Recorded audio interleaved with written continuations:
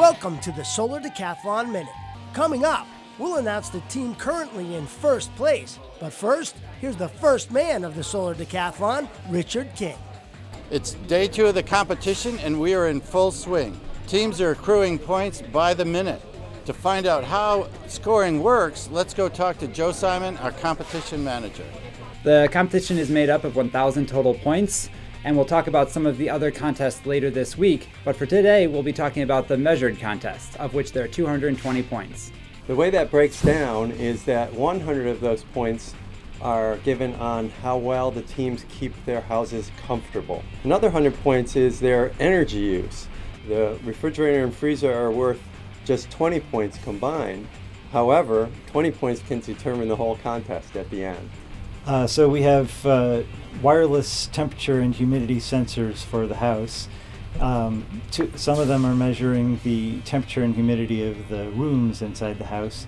And then we also have uh, a measurement of the refrigerator temperature and the freezer temperature.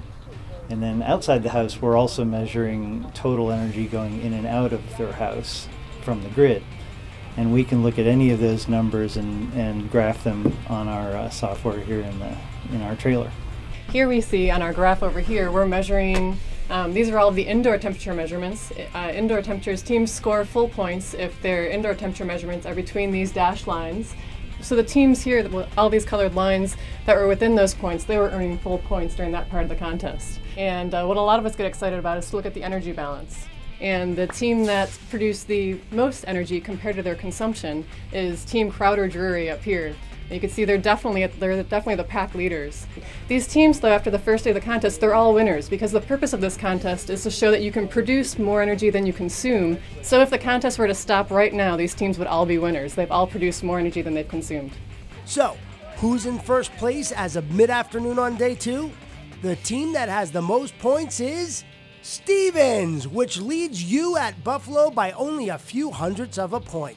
That's it for today's Solar Decathlon Minute. Tune in tomorrow to see which team leads in points on day three.